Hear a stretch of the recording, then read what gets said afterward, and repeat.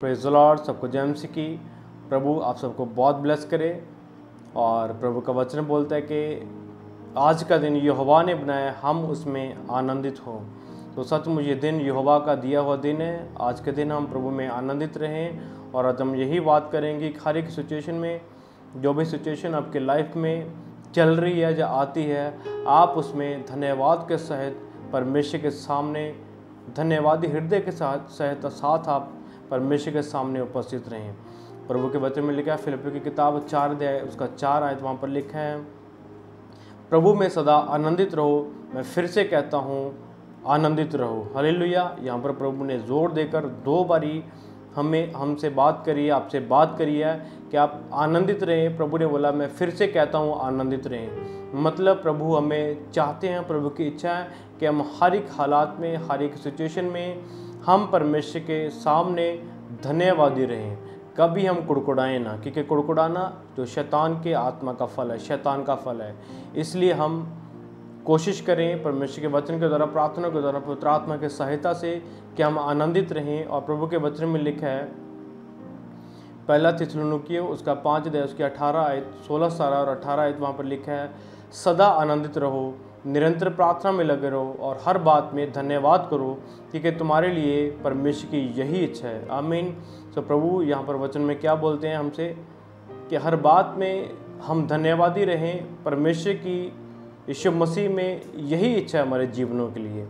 सो परमेश्वर की ये योजना है, परमेश्वर का ये प्लान है और परमेश्वर इच्छा रखता है कि हम हर बात में धन्यवादी रहें। जो भी हालात हो, जैसे भी हालात हो, हम आनंदित रहें, हम प्रार्थना में लगे रहें और सबसे बड़ी बात जो हम बात आज कर रहे हैं, हम धन्यवाद दे रहे। हैं जो भी आपकी सिचुएशन आज आपके लाइफ में चल रही है, आप बीमार हैं, आप गिरे हुए हैं, आप गरीबी में हैं, आप कर्जे में हैं, कुछ भी आपके हालात हैं, आप परमेश्वर के सामने कुड़कुड़ाएँ ना ना आप परमेश्वर से शिकायत करें कि परमेश्वर आपने मुझे ये नहीं दिया, मुझे ये नहीं किया, मैं बीस साल से चल रहा हूँ, दस साल से चल रहा हूँ कई कई बार कुछ दुख हमारे ऊपर ऐसे आते हैं, जिनकी वजह से हमारे ऊपर कुड़, हमारी आवाज़, हम कुड़कुड़ाना शुरू कर देते हैं परमेश्वर के सामने।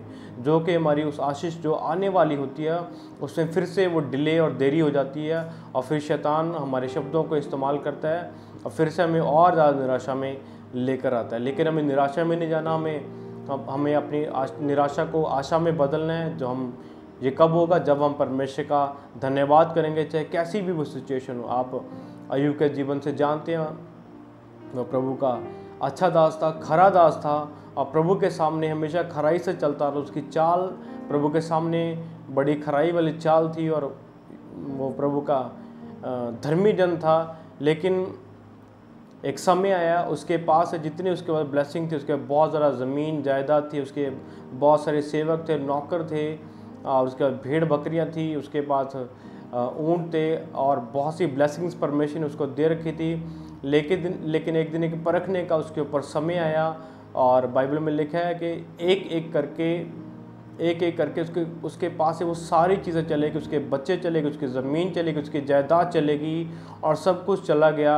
और जब वो ख़त्म हुआ, जब वो खाली हुआ, उसने क्या किया? यहाँ पर वचन में लिखा है जब उसने सुना कि सब कुछ ख़त्म हो गया उसके बच्चे भी ख़त्म हो गए हैं और उसकी ज़मीन उसके उसके जो पशु थे उसके जो जो प्रॉपर्टी थी वो सारी ख़त्म हो चुकी है। उसके बाद युवनक का क्या रिएक्शन था आप जाने सुने।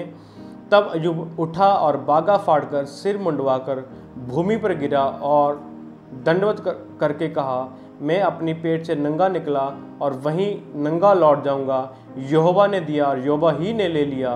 यहोवा का नाम धन्य हो। हालेलुया। जब उसके पास से सारा कुछ ले लिया गया, उसने क्या बोला कि मैं माँ के पेट से नंगा निकला था और नंगा ही वापस जाऊँगा कि मैं यहाँ कुछ भी नहीं लेकर आया था और मैं ना ही कुछ वापस लेकर जाऊँगा यहाँ से। तो सब कुछ जो था यहीं पर रह जाएगा। और उसके बाद सबसे बड़ी बात उसने क्या बोली? योबा ही ने दिया और योबा ही ने ले लिया और यहोवा का नाम धन्य है।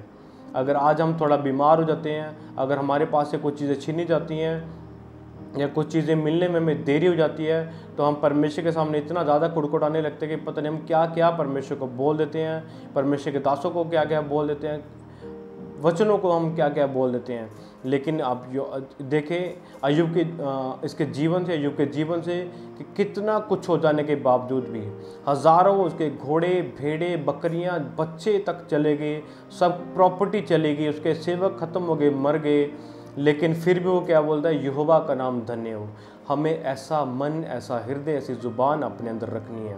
और लिखा है बाइबल में आगे अयुब मैं पढ़ रहा हूँ अयुब एक का बीस से बाईस तक, और इन बातों में भी अयुब ने ना तो पाप किया और ना परमेश्वर पर मूर्खता से दोष लगाया। तो जो परमेश्वर पर लोग दोष लगाते हैं, वो मूर्ख होते हैं, लेकिन उसने मूर्खता वो नहीं दिखाई, उसने केवल परमेश्वर का धन्यवाद किया। लेकिन उसकी पत्नी जो उसकी पत्नी उसको बोला कि तेरे परमेश्वर ने तेरा सारा कुछ ले लिया तो अभी भी परमेश्वर का धन्यवाद कर रहा है, अभी भी तो परमेश्वर की निंदा नहीं कर रहा।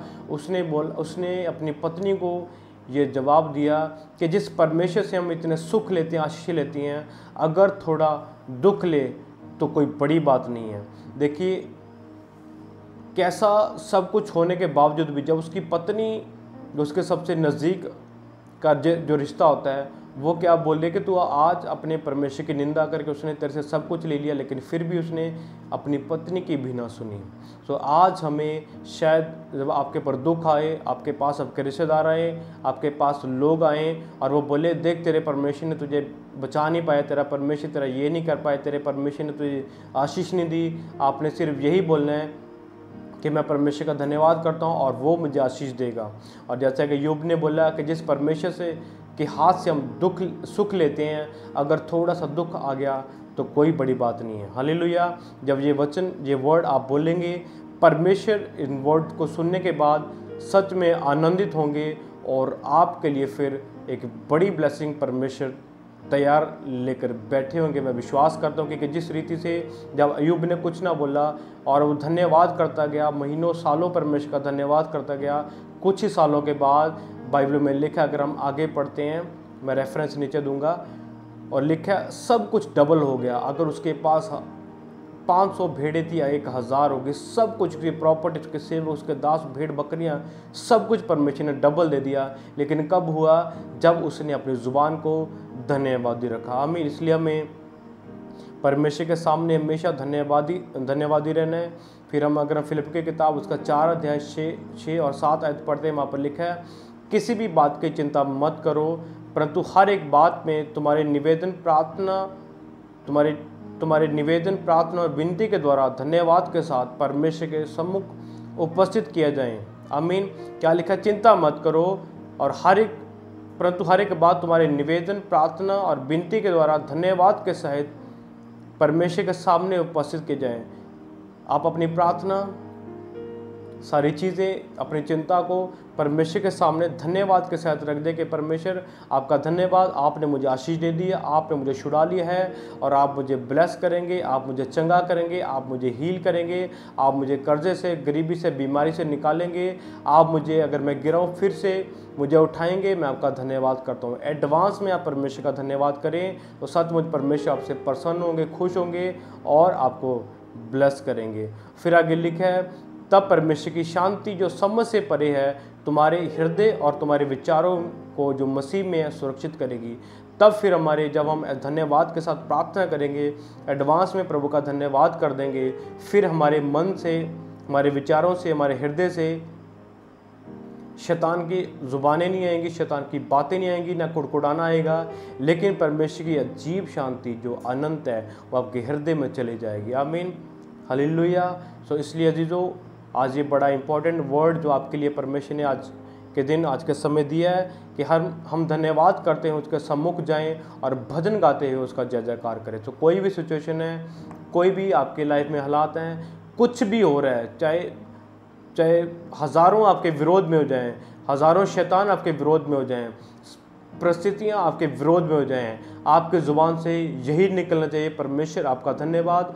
आप मुझे छुड़ाएँगे आप मुझे चंगा करेंगे अगर आप बीमार हैं, अगर आप गिरे हैं, आप मुझे फिर से खड़ा करेंगे। जब ये वर्ड्स आप बोलेंगे, मैं बोलता हूँ सेम टाइम स्वर्ग में परमेश्वर आपकी प्रार्थना को सुनेंगे और पवित्र आत्मा के द्वारा आपकी सहायता कर कर आपको छुड़ाएँगे और आप बड़ी गवाही के साथ परमेश्वर की महिमा के लिए आप तैयार होंगे। आमीन। So God bless you all प्रभु आपके साथ हो। मैं सभी के लिए प्रार्थना करता हूँ। अपनी आँखों को बंद करें। कि परमेश्वर आपको शांति दे और आपके हृदय के अंदर धन्यवाद हृदय परमेश्वर का आत्मा पैदा करे। आइए हम प्रार्थना करते हैं। खुदावन, जीवता परमेश्वर प्रभु, इस समय मैं प्रार्थना करता प्रभु, जितने भाई बहन इस वीडियो को देख रहे जिन्होंने वचन को सुना प्रभु, ये वचन इनके जीवन में सौ गुना फलों को लेकर आए प्रभु। मेरे परमेश्वर हरे कुड़कुड़ाना शैतानी फल, इनके जीवन से, यीशु मसीह नासिक नाम से ज़ुबान से चले जाएँ। और पवित्र आत्मा, आप इनकी ज़ुबान पर मन, हृदय पर कब्जा करें और आप शांति दें प्रभु। ये आपके बच्चे अयुब जैसे हो जाएँ प्रभु।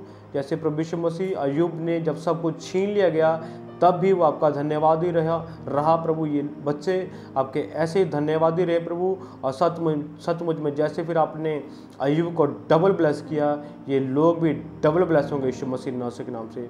मेरे प्रभु यीशु मसीह सचमुच जब आपको लोग सूली पर चढ़ा रहे थे, आपने प्रभु उनसे घृणा नहीं की, ना प्रभु आपने उनको कोसा, लेकिन आपने उनके लिए माफ़ी मांगी। सचमुच प्रभु हमारा चरित्र, आपके बच्चों का चरित्र आपके जैसा हो, उसके बाद आप हमें शिरोमणि बनाएँगे। क्योंकि प्रभु, जब आपने सलीब पर हज़ारों लोगों को, जो आपको सूली पर चढ़ा रहे थे, आपने उनको माफ़ किया, पिता प्रसन्न हुए और पिता ने आपको अपने पास बुला लिया और आपको मुर्दों में से जिला दिया। प्रभु, जब हम लोग आपके बच्चे धन्यवादी रहेंगे हर समय में, माफ़ करने में प्रभु, कुड़कुड़ाएँगे नहीं आप इन्हें ऊँचा करेंगे, आप इनकी महिमा बढ़ाएँगे और आप इन्हें ब्लस करेंगे।